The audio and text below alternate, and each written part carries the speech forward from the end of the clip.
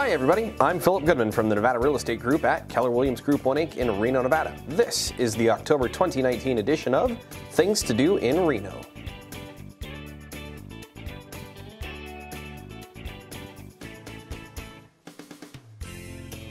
Music lovers are in for a treat as October is packed with music of all genres. Reno's theaters will be grooving to the classic rock of Van Morrison and America. Rockin' hard with Godsmack and Halestorm. The 90s alternative with Bush and Live. Or you can mellow out with Paul Anka or Engelbert Humperdinck.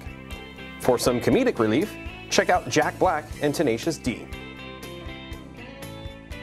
Nevada Day falls on October 25th with the annual Nevada Day Parade happening on Saturday, October 26th.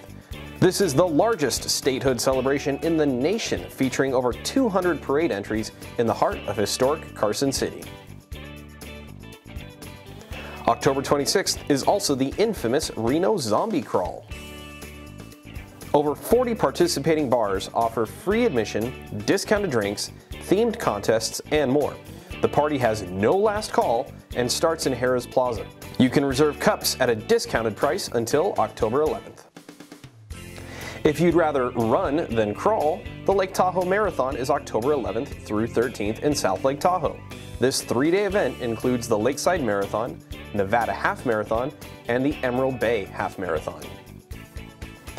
After your run, catch up with Wolfpack football as they take on the San Jose State Spartans at Mackay Stadium on Saturday, October 12th.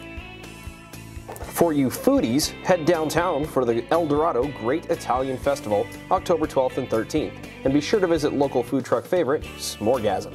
Spice things up at the Grand Sierra Beer and Chili Festival on October 19th and 20th.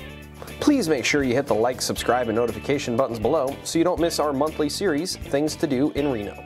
For the Nevada Real Estate Group at Keller Williams Group 1 Inc. in Reno, Nevada, I'm Philip Goodman. I'll see you around town.